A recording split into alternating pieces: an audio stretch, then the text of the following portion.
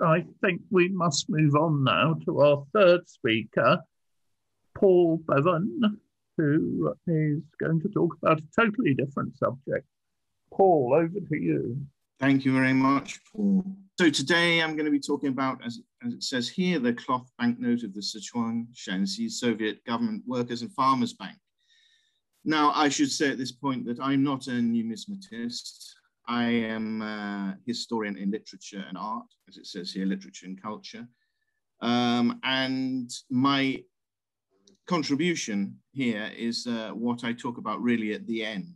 Um, this banknote, which I'm going to be talking about, is, is quite well known. Um, we'll see how well known when it comes to uh, well, how I present it in a minute.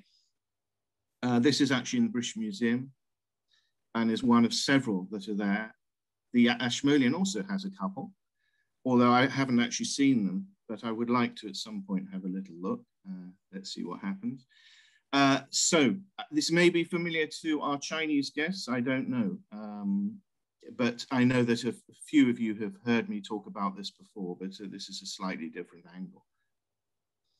Okay, so I just want to remind you about textiles money on the Silk Road. We have Helen in the audience today, and she's done some uh, uh, a lot of research on the use of textiles as money, um, and, and, published in um, the Journal of Royal Asiatic Society um, a special um, issue so, you know, this is important, of course, the use of textiles as money historically. But it's not confined to China, of course. Uh, and I said, just um, introducing this, this is quite an interesting one because this is um, actually in, in Nigeria. Um, and we can see that the main commodity of trade was not ivory, but cloth. And uh, I, I, think this is a, a particularly interesting article because it was written so long ago, basically at a time when uh, things were, will have not, you know, by now things have changed quite a lot. Um, I don't think I will dwell too long on this, but I think it's interesting to see the uh, strip of only four to six inches wide, but uh, 50 or more yards long, which could be stored or transported as a long coiled belt. And it, it fulfills the requirements of what people, uh, how people um, define money or currency. So that if anyone's particularly interested, they can have a look at that. And then we have it uh, slightly closer to home uh, in the form of Viking um, use of cloth in Viking. Uh, and here we have an example of the type of loom that was made and a lady who is uh, reenacting a, uh, as a Viking. But we are looking at China, and so uh, firstly we go back to the site of the first National Congress of the Communist Party of China in 1921. This is important because this is uh, an, uh, obviously uh, one, one of the key moments in the history of um, what happened in the 20th century in China. We have um, I don't know, whoever's been to Shanghai may well have been here. I've been here several times, a very interesting place it is too. Uh, this is a poster from, the, from 1973 showing visitors to the uh, site of the uh, first Congress. And just for um, context, also, it, it, um, people will know that it was interrupted and had to be um, reconvened in this boat, which was on South Lake that's not that relevant, I suppose. But it, what it, why it's relevant, this going back to 1921 for this note, is that we can see that this is part of red tourism now. So people go to this place, they go to the sites of uh, um, important dates on the, the, from the uh, important sites of the communist, rev, communist revolution.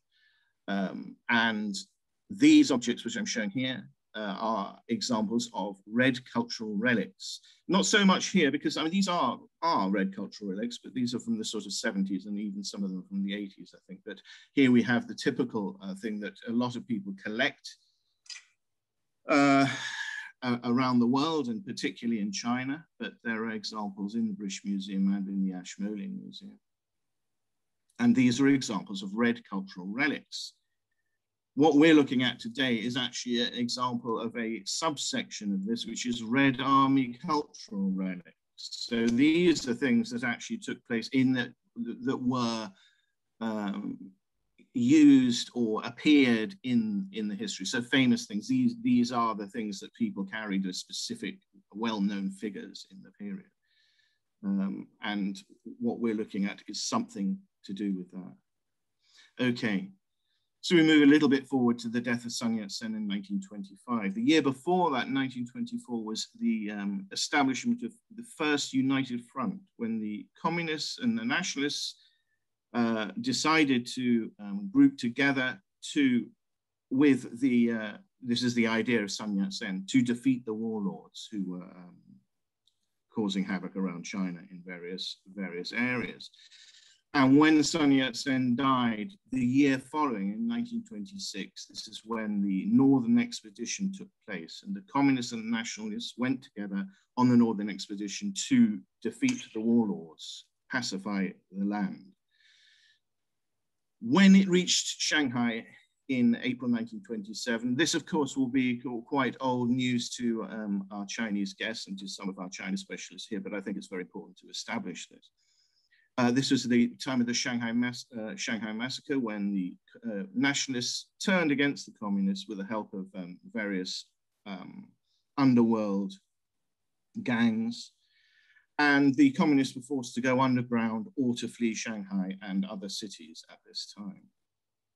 And this is uh, one of the results of this was the Soviet Republic established in 1931, the Chinese Soviet Republic. And this is a, a rare photograph of the uh, military parade. Okay, and now some of the figures we're, we're looking at here are, um, are important to this, and I want us to concentrate mainly on what they're wearing actually. Um, we'll see why this, this becomes clear. Uh, we have Mao Zedong, Zhu De, Zhou Enlai, and Bogu uh, here in this photo. And this via this, we arrive at uh, what, what I'm talking about today, or the area, the uh, Sichuan Shaanxi Soviet government, uh, which was formed um, partly with the uh, Fourth Front Army of the Chinese Workers and Peasants Red Army, so the Red Army, in other words. Um, and they arrived in December 1931. The following year, the government was officially founded. And so this is, and this is the time of uh, the coins, uh, the, uh, the uh, money that we're talking about. They left, and we'll see in a minute, uh, they left, were forced to leave um, as a result of the Long March. And here we have a, a uh, map. Now, famously, the most famous part of the Long March was from Jiangxi, the Soviet in, in Jiangxi, all the way around here and up to Yan'an in, in Shaanxi. Uh, but there were other um, Chinese Soviets, and these we, we, we see here, these are former ones that uh, had become defunct because people had left. But the one we're looking at really is actually this one here. So the Sichuan Shaanxi uh, Soviet. Okay, so money. Uh, initially, the currency from other regions was used. They, they, arrived in 1932. They just carried on using money that they had already. Um, e easier to do with um, silver coins, I think. Um, but subsequently, they actually issued and had a mint. Here we have, it says here, the, the mint of the, of the region. Uh, subsequently, silver, copper, paper, and cloth money were issued. And these are all, we'll, we'll get very used to these um, the way these this coin looks. Uh, workers of the world unite. The uh, the um, Soviet Republic of China, yeah, or the Soviet Republic, and this is the um, Shaanxi and um, Sichuan Shaanxi um, Mint. Okay, so we've seen a, silver coin. Now we see a um, paper banknote. What's important about this when we look at these is we're looking at the background. of, of these. We can see, I mean, obviously, the, the more complicated the, the pattern, the more difficult it is to forge. And this is, you know, I mean, clearly um, an important thing for them to think about. What we see here is that the pattern in the background, but we also see uh, various forms of writing here, which will become clear in a minute uh, what they are. This is a, a one string of cash um, paper uh, note. And that's the reverse. Can't see that very quickly. We'll move on. Okay, so the relevant paper to make these sort of notes was scarce, as was silver, and so uh, they decided to um, approach it for another angle. Now, I should say at this point, uh, well, we'll, we'll, see in a minute, in fact, that the idea of a cloth banknote was not uh, a, a, rare one. It's not only restricted to this area, but here they were um, fortunate enough to have a lot of um, textile manufacturers close by. So textiles were produced in these, um, in these villages, and these provided the textiles for the, for the notes. And we are now on to cloth money. Now, these I've put up because they are particularly, I, I, I would say that these are almost certainly fakes. You know, they are put on, I think they the image comes from eBay or something and they're trying to, someone is trying to sell these as uh, um, original notes. They are not from our, our bank that we're looking at, but I think, you know, they, they do show that there are other examples. Here again, uh, other examples in different denominations that could or might or might not be uh, authentic. But this one, I think, shows some of the things we're going to be looking at again. As I said, you know, the hammer and sickle here, both here and here, uh, and the the way that a certain type, the type of writing used is is deliberately stylized. So this is a very stylized, stylized form of writing here. And that's what we'll find in a minute when we come to look at it. We see again the star, the hammer, and the uh, cogged wheel. We look at Mao Zedong, he's on his pony, and they are going on the long march. This is between October 1934 and October 1935. And this, this is all subliminal. Um, I'm, I'm, trying to put these I, I, ideas into your head without telling you why. So just remember you know, this, this photograph. And again, we have a, a similar one with Joe and Enlai and then Zedong in the middle and Bo on the right. Again, I, I think, you know, uh, looking at their clothes is quite interesting in this, in this case. Again, Mao Zedong in speech making mode and on the left. And we come back to another example from the British Museum, one of the, I think there are nine in the collection. I'm not quite sure if that's the right number but quite a significant number because these are not necessarily very um, widespread. I mean, there aren't that many still in existence for obvious reasons, I think. Okay. Now, to illustrate some of the things I'm going to be talking about, I am referring to a program that uh, you might like to watch, which is called Woyo Chuanjia. I have a family heirloom. And this is a special long march episode. And uh, as, as I say here, it begins, and this is part of the, the film that is shown, it begins with a, a film from 1970, which uh, mentions the song of the three main rules of discipline and the eight points for attention. Now, this is another uh, important thing for us to remember, because this basically meant that the, uh, the ideas of this was, were partly that the the Red Army was not allowed to accept things um, from other people um, and always paid for what, what they received, uh, which was uh, meant to be very different from what the nationalists were doing. Uh, um, the nationalists would take what they wanted, apparently. Okay.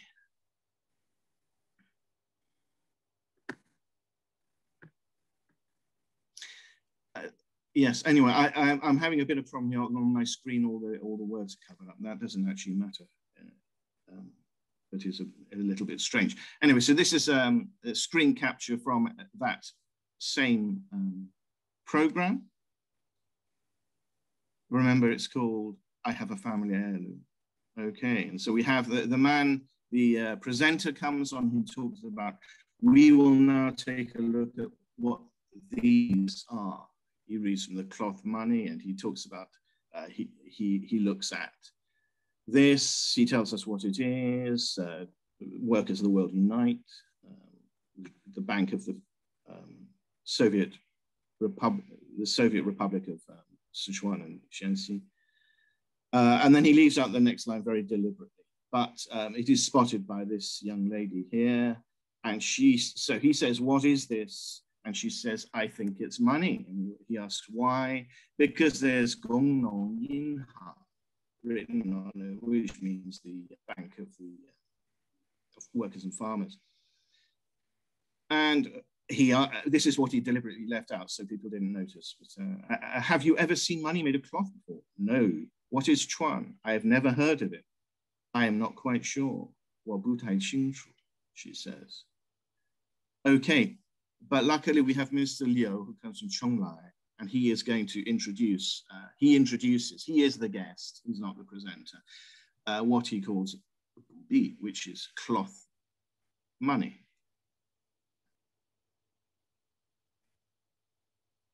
And there we are. So we will notice this gray and we will notice the blue. And that's why I wanted to, you to remember the picture because I, you know, we've seen already that the, um, the places where the cloth was made were the places where cloth, lo cloth was locally made were the places where the, um, the, where the notes were printed. And in this case, we can assume that it's the same cloth. Um, and this, this needs further um, research. And of course, you know, I mean, I started this research not long before the uh, pandemic hit. So I, I, won't be able to get to China, I think, for a few months yet. So uh, the, the uh, research continues. Okay, so now we look at what's actually on the note. As I said before, this is Workers the World Unite. Uh, the Bank of the uh, Soviet uh, Chuan, uh, Sichuan and Shaanxi Soviet, the uh, Bank of the um, Farmers, Workers and Farmers Bank, Hammer and Sickle, five-pointed star and clenched fist. So these are all, uh, of course, the uh, symbols of worldwide communism. In addition, we have the three strings of cash here, San Chuan, and the date, which is 1933. So these are all things that people notice uh, when they first look at this. Chinese people will first notice these things and uh, they're not disguised in any way. But I come first to an, another television program, which I mean, you could you could translate it as the glorious process, but really, I mean, it's about the glorious history, um, meaning of uh, the Communist Party, and it is in a program called um, uh, National Archives. Okay, so here we see, we actually see the, uh, the mold for the printing of the banknote that was actually found in the earth in the area around where these were uh, originally made. And so they, they do a sort of reconstruction of it in, on the program, but this is the uh, thing that they find, slightly repaired here as we see. And this is the location of that place where they were made, which is, as we can see, right in the middle of Shaanxi and Sichuan uh, provinces. So right, right in the middle. And the place itself, which uh, is called the Mint. I mean, that, that's still, uh, oh, well, it's not actually called the Mint. It's called the, um, the Money Factory.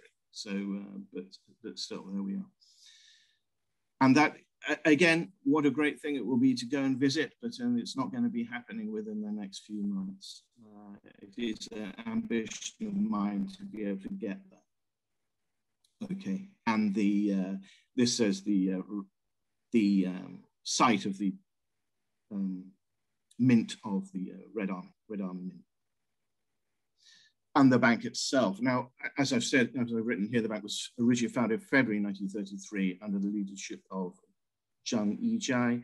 Now, he is an interesting figure because he was in, in Shanghai and he was part of the, um, he was underground for a long, long time in, in um, Shanghai after the 1927 massacre.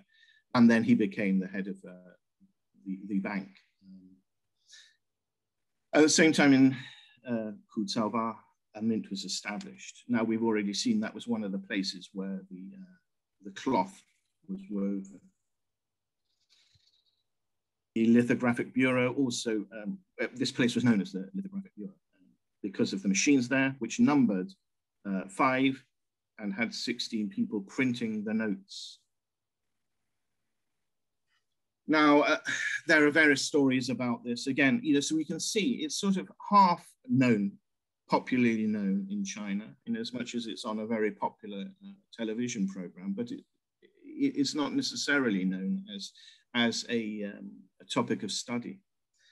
So this, this is a dramatic, uh, dra dramatized version of events as are supposed to have happened. And this is a lady that we're talking about here who um, helped these members of the Red Army, um, fed them, let them stay at her house. Um, and then when they left, they wanted to pay her, but she didn't want to accept payment because as we have seen, this is not allowed um, from the, the Red Army.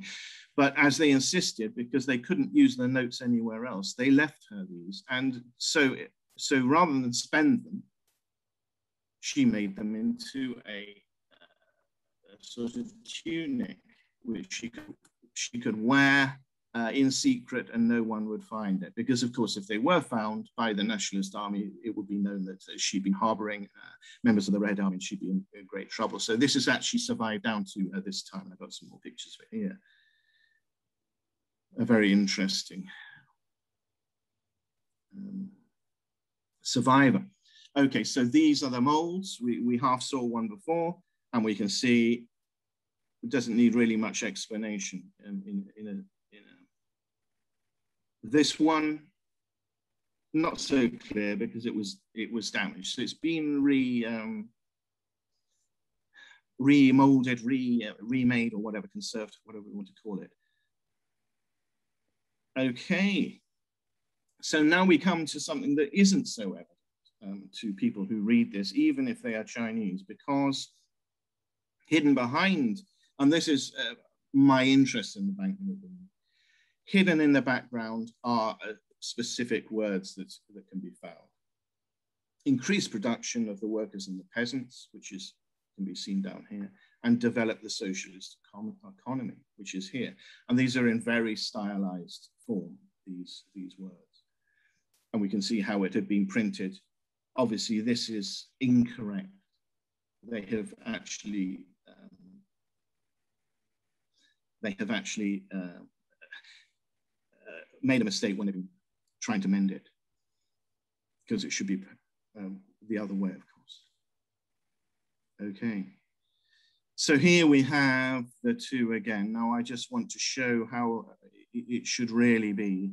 Um,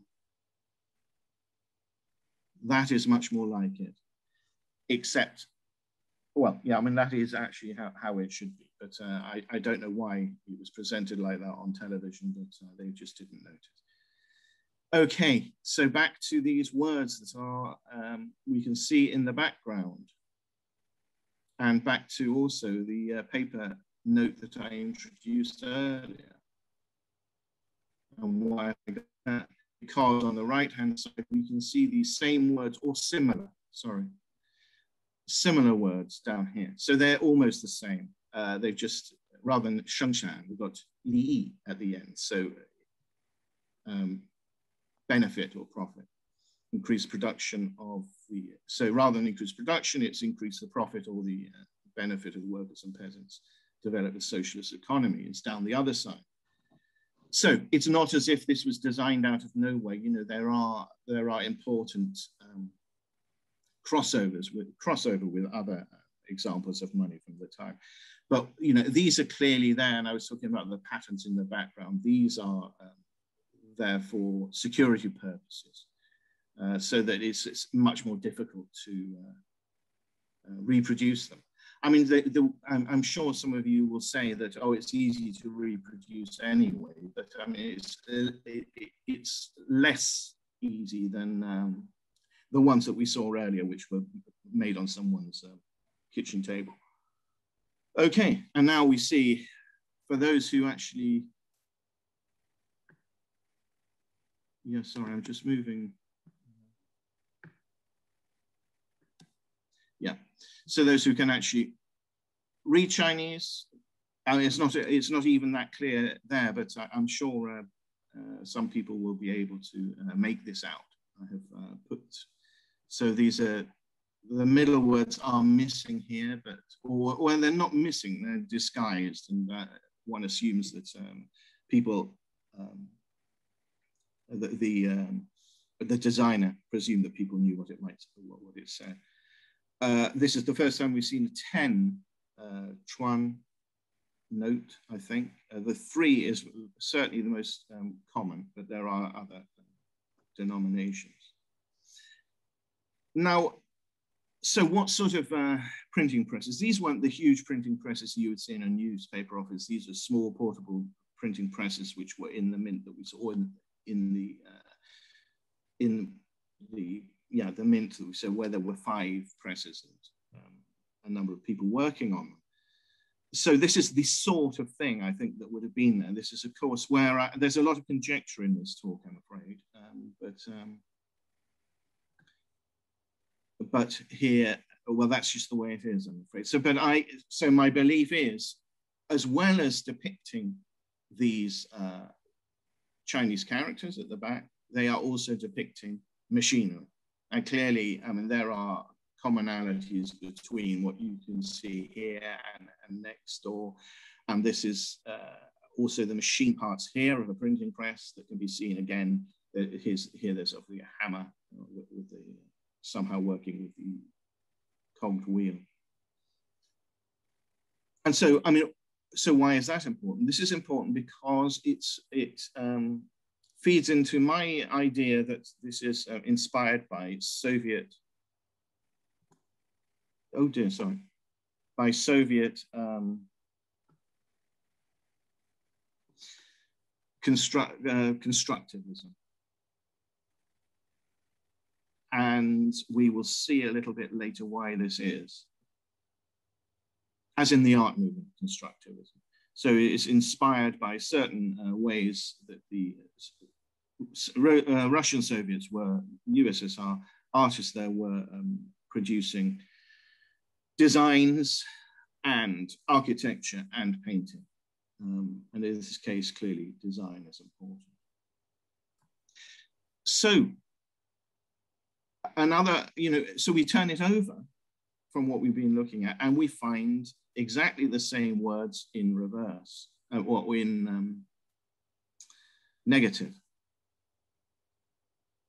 which is quite an interesting thing because there has been uh, suggestions that the this has something to do with um, uh, seals, Chinese seals. Now, all right, so I'm going to look into this because I think it's quite interesting, but I'm not convinced that it is, is the case.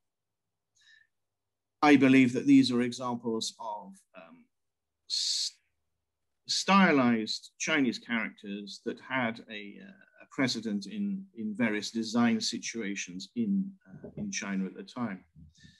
One of these is, of course, the uh, in the print culture that happened in Shanghai. This is um, an example of a magazine with the design by Zhang Guangyu. And we can see what I'm talking about here with the Shidai Manhua, um, a very stylized way of writing, which if we wanted to, um, if we wanted to define it further, we could say that it is inspired by the, uh, the Art Deco movement uh, that was happening all over the world at this time. And of course, Shanghai is very well known for this. Another example of Zhang Guangyu's work, Wanxiang here. And another from the uh, Wenhua. You can see very stylized characters again. So that's all very well. And that's, you know, that's partly where it comes from. This clearly is extremely stylized, the words Wenhua but we are looking, uh, we move on to what I would term left-wing design because it brings us closer to the cloth banknote we're actually looking at.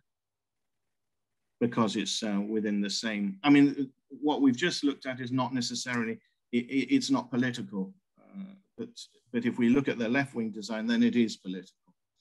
And here we see some examples by Chen Zhifo um, of things that he was doing in 1931, just two years before the uh, design of that banknote. And we can see some of the ways, some of the styling, stylized characters and the design that is used on, the, uh, on this, for this magazine called Modern Student, 现代学生. Another example here of uh, some uh, stylized characters, uh, which I have given you examples of here. and yet more from the Keiming Correspondence School. Keiming was a um, important publish, publisher of the time. And Chen Juntao, a very important um, designer, who was, uh, and the important thing about this, Chen Juntao was uh, involved in the uh, design of book covers and magazine covers, um, and was, uh, from that point of view, was known to have designed some uh, book covers for books by Lu Xun and that um, and other uh, left-wing writers of the time. So the impact of constructivist design in Shanghai. And that, that we can see on th with things like this, the Trondheim account from, from uh, 1928. Uh, we see a lot of the, uh, the machinery that we, we, will find in, in Russian examples uh, or Soviet examples here and, and in the um, lettering, Chuang Zhao, Yue Yeah.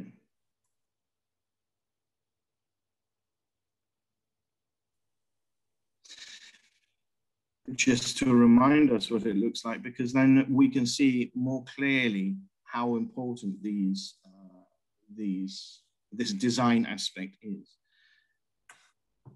And here we come to where they, where they meet because this is um, a design on the right by Vladimir Krinsky uh, called A Revolutionary Structure.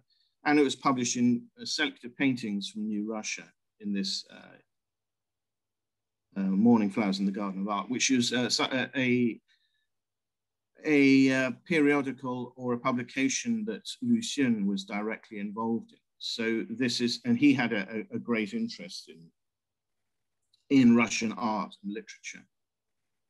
And so we can see Krinsky appearing in um, Chinese publications at the time. And we can see how that may have um, been inspirational for some um, artists who, who were involved in the production of this, um, this banknote. Remember that the man in charge of the bank was from Shanghai and had been, um, and then had been in the underground uh, communist resistance. Okay, so in fact, this has happened two, two years later than that, that uh, Krinsky's art had been in a, in a Chinese magazine. And we can see it in this, in this magazine called Sixiang, which I've translated as thought, but my, you, it could be translated uh, effectively as ideology and probably better than thought. Um, but we find um, these examples of um, Krinsky again having, so it's not a one-off, although it is not, I mean, he's not a very famous artist in China at the time, but it's not a one-off that he's using. So, so this is 1928, and the other example I gave was from 1930. Um, but the important thing about this, this, um, this the first edition of this uh, uh, this uh, magazine, is that it this is the only time Krinsky appears in this. But uh, what is most important for us, uh, understanding this idea of constructivism and its uh, a possible impact on some Chinese artists, is that in the same issue there are works by this man called Wang Yiliu. Uh, two, these are both the all of these rather uh, bad quality um, images come from the same issue of um, ideology. And so what I've tried to show apart from the fact that this is a, a very interesting banknote for every, from various different angles, for me, the important thing is what is hidden in the background and what and the importance of the possible importance of constructivist design and art to uh, the design of that banknote. And in fact, that's where I finish. So thank you. Thank you very much, Paul. That's a very, very interesting and different um, approach to looking at money, I must say, from the uh, talks that we normally have. I found that fascinating.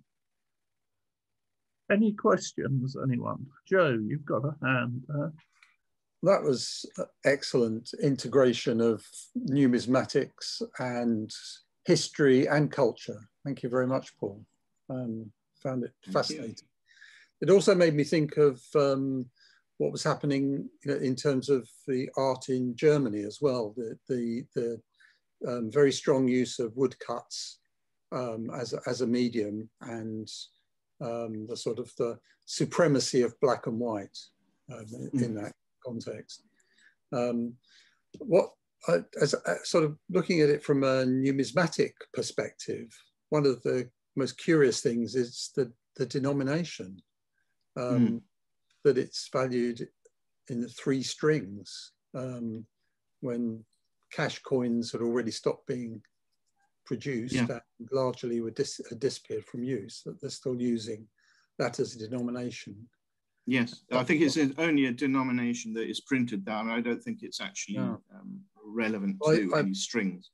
Hmm. My, my suspicion is that it's sort of related to the previous copper coinages of the region rather than, you know, because in, in Sichuan there are still, I think they were making copper coins denominated in cash, even though they were um, clearly cents and two cent pieces.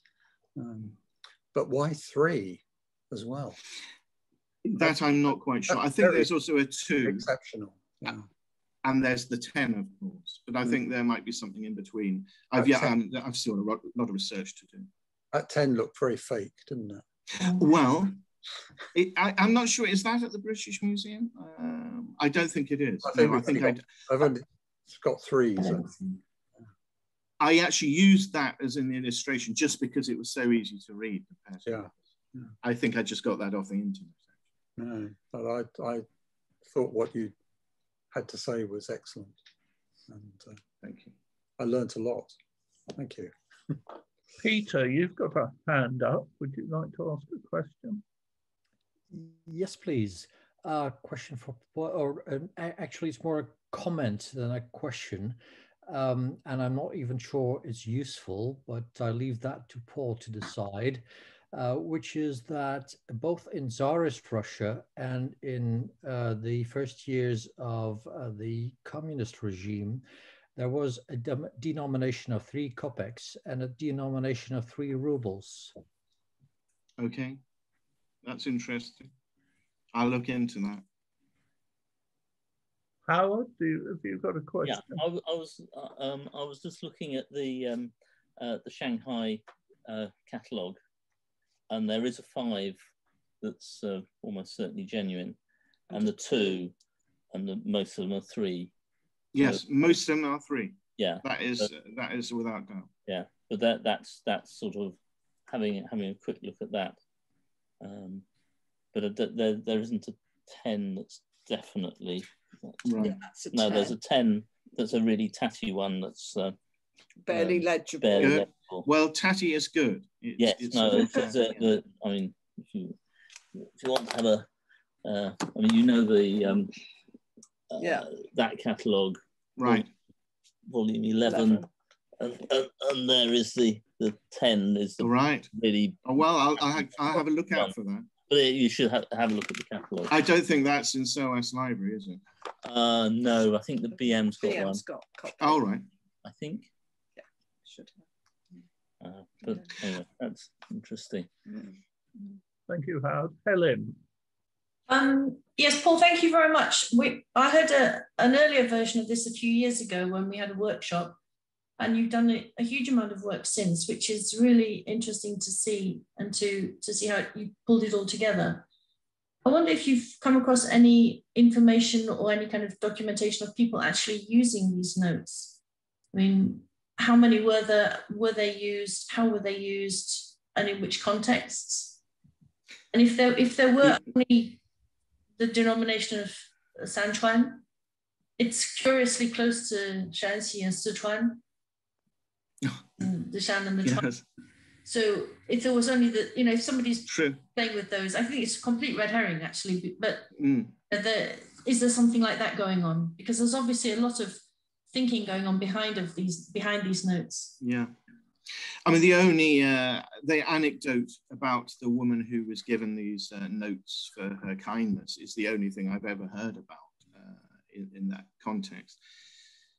But uh, you know, and one of the big problems is, you know, there are a few uh, few articles in Chinese that I've read, but they are mostly one copy, you know, one copy is the other, which copy is the other. So there's not, although there are a, quite a few um, essays, that it's all the same information. So somehow I need to um, get there, I think, to uh, and get to some museums in China possibly.